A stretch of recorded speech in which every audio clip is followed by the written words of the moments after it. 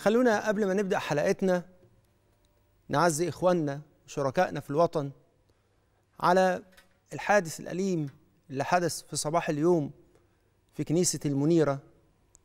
فنطلب من الله سبحانه وتعالى لأهل الضحايا الصبر والسلوان وأنه يربط على قلوبهم وإن شاء الله كلنا نكون جنبهم ونأزرهم بحيث يتجاوزوا هذا الحادث إن شاء الله.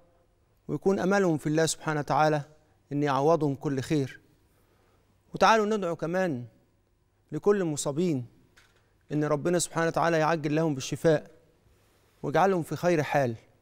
وإن شاء الله يعودوا إلى بيوتهم سالمين غانمين بصحة وبسلام.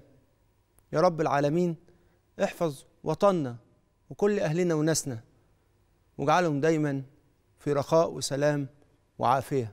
يا رب العالمين ما تسوقناش أبدا في حد من المصريين يا رب.